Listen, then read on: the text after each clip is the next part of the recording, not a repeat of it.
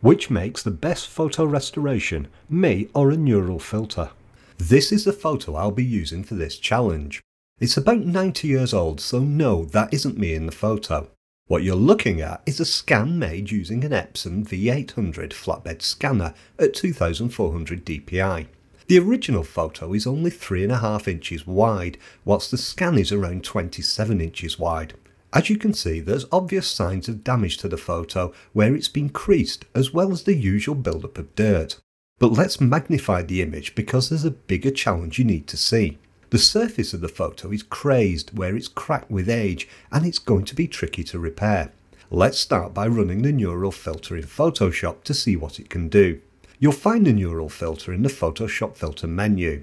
When you choose the option, it opens the neural filter dialog where you can see a list of current filters. At the bottom of this, there's the photo restoration filter we'll be using for the challenge. To be fair to Adobe, this is a beta version, but it should still give us a good idea of what's possible. In the filter you can see two controls. There's the photo enhancement slider at the top, and then there's a scratch reduction filter below this. If I toggle the filter on, you can see that the photo enhancement setting corrects the photo's contrast. But if we magnify the image to 100% and compare the before and after preview, we see something else. The filter has reduced the crazing on the surface of the photo, and if we increase the level further, we see a stronger effect. At higher levels, it does begin to soften the photo too much though. I've been testing different levels with this photo and found that a setting in the low 60s works best. This slider doesn't however fix the larger damage where the photo was creased. For that, we need to use the scratch reduction feature. When I set the slider to 10, you can see that it begins to process the image. Again, I've already tested this to find the best value with this photo because processing can take up a lot of time. On this image it seems to take around 20 seconds to complete the task each time I change the slider. Once the processing is finished it looks to have done a great job of removing most of the damage. It's only the worst cases where we can still see that there was some damage there. By the way, the adjustments section of the filter has controls like noise reduction and halftone artifact reduction. These are intended to deal with problems in the scanning of the original image, and I found they don't have much effect on this photo. Let's now choose to output the results to a new layer, and then we'll apply the filter. You can see the new layer created by the neural filter in the layers panel. When I hide it, you can see the improvement that it's made to the original image. Now it's my turn to see what I can do to repair the photo. I'll start by adding a levels adjustment layer. I'm using this to correct the fading in the original and to neutralize the sepia color. This involves selecting each color channel in the levels dialog in turn. I can then move the black and white level to meet the ends of the histogram. When I've done this for all three color channels, it fixes the fading and color. I'll then switch to the RGB channel. This is where I can use the midtone level to lighten the image because my correction made it look a little bit too dark. Personally, I find my results better than the correction made by the neural filter. Next, I'm going to fix the large damage caused by the creases. To do that, I first want to add a new empty layer to the image, which is where I'll make the repair. Let's magnify the image to 100% to take a closer look at the creases. My preferred tool for repairs like this is the healing brush. I like to use that because like the clone brush, I can select the area of the photo to be used for the repair.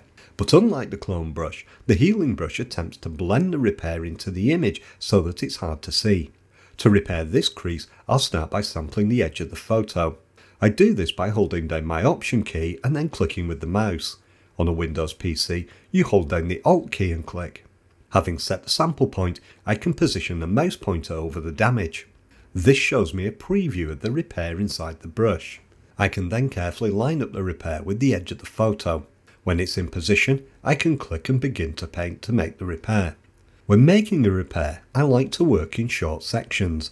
Sometimes you end up copying a scratch or part of a photo with detail that's then easy to see in the repair. When that happens, set a new sample point and paint over the area again. It's also a good idea to set a new sample when you come to repair an area with an obvious edge, like the dress in this image.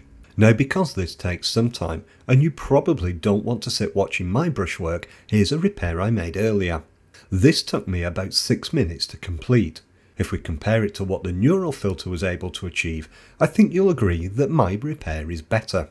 The downside though is that it took me 18 times longer than Photoshop's neural filter to make the repair. The next step is for me to deal with the crazing on the surface of the photo, and this is where the neural filter has me licked. There's nothing I can do to repair this level of damage without spending days on it. Probably the best easy solution I have is to try to hide the crazing by reducing the size of the image. I can then apply a grain effect filter to help break up any pattern caused by the crazing. This produces an acceptable result, but not if I want to produce a large print from the image. If I want to keep the image at 27 inches or even enlarge it, the neural filter wins out as it does for speed. But then I wondered, what would happen if I tried to improve the image the neural filter produced? Well, I found that my levels adjustment trick didn't work very well. Also, making the repair with the healing brush was much more difficult. Strangely, what I found was a better method is for me to make the repair first.